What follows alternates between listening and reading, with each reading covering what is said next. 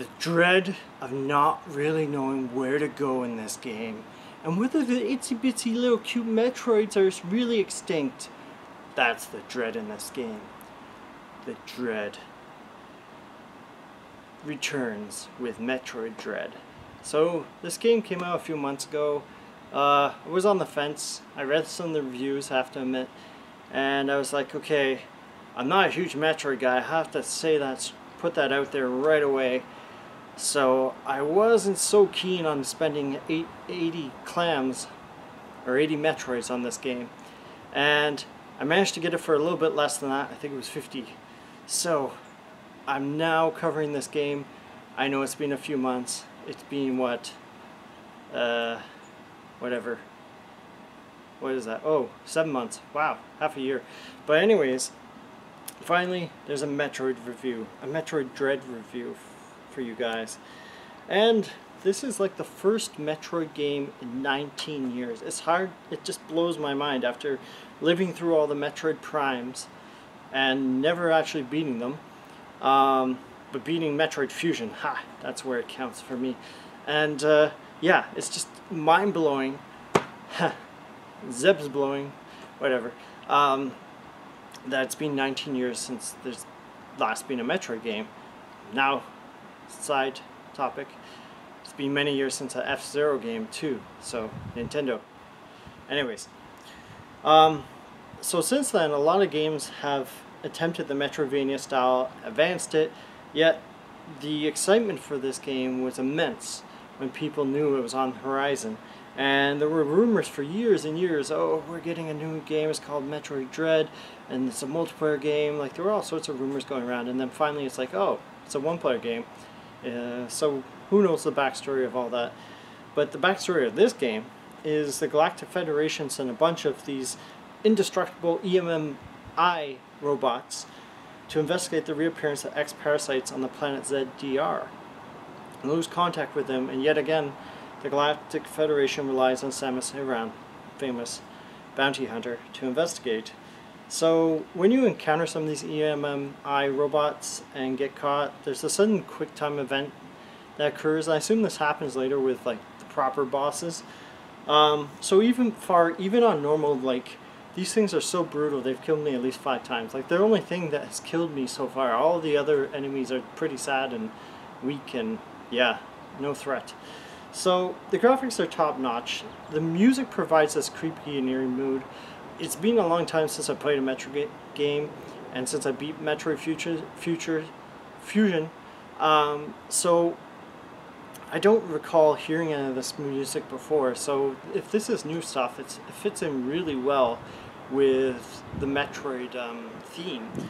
Um, the controls are most the same as every other Metroid. There's a few new pieces of equipment, as is usually the case from what I remember. Uh, slide move, a powerful Mega Cannon, etc. The cutscenes are used sparingly, but like they really immerse the player into the game. They're used when they're needed, which is great. Uh, level design superb, arguably feels very organic to me. Um, you move back and forth between previously seen areas to unlock once inaccessible rooms. This is a hallmark of the long-running series of Metroid, and uh, MercurySteam did well with its execution. Everything about this game, like this really feels like I can't recall many games last year that came out on Switch, but this really does feel like one of the best ones. I'm just going to put that out there so far, and I barely even started playing this game. So, the introduction of these EMMI robot zones, they really demand you to go through these levels with like a mixture of stealth and speed. Um, the bosses are expected really demand a level skill that few games ask from gamers anymore. I can think of like Dark Souls and pretty much just Dark Souls is the only thing that comes to mind. Maybe if you're trying to like ace Mario Kart and be the best Mario Karter, but there's very few games that will demand skill from a player now. So there are some cons to this, even though like this game is all jazzy and pretty and everything. Um, the biggest detriment to this game, and people will mention this a million times, is the difficulty the game refuses to help you uh, along the way, expects you to discover the game on your own. Um, I don't think there's, like Metroid Fusion, I think they had an in-game like prodder, like Adam wants you to go here. Oh, maybe you should go there. No, this game, from what I've seen, there's none of that. Like, none of that. They do not want to help you. They want the game to be uh, discovered totally by you.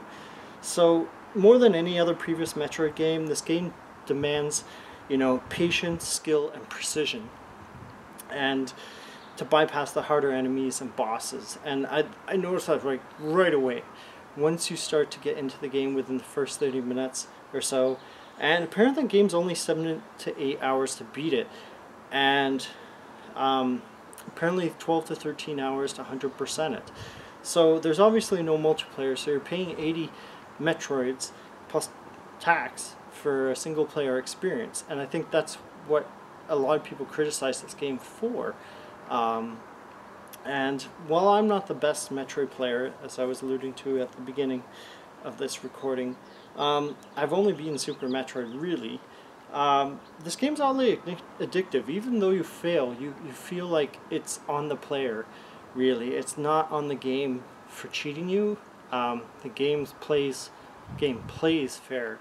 Um, but I always wanted to know what was going to happen next, even though I was kind of like, okay, I don't really know where to go right now, but uh, I'm going to try try something. Um, so if you don't mind a shorter game, a higher quality game, uh, I would recommend picking up Metroid Dread. It's one of the best games of last year for sure. Um, I would say it's definitely a solid 9 out of 10 experience. If you're going for a Metroid experience, if you're going for a one player great experience, go for this. Um, yeah, it's definitely a great experience. It, it's gotten me playing my Nintendo Switch, um, which has been pretty dormant. Um, lately with all the, the game releases, um, you know, everywhere. I've been focusing on PC to be honest, and this actually got me playing my Switch again, which is a pretty good compliment, really. So, anyways, now we have to go find some Metroids because I'm not a believer. I'm kind of skeptic that they're all extinct. So, yeah, now we need to have a Metroid Pokemon mashup kind of game. That that would be interesting. Uh, it would only have like two characters, but hey, who cares? That's the dread that we need. Keep on dreading. Bye.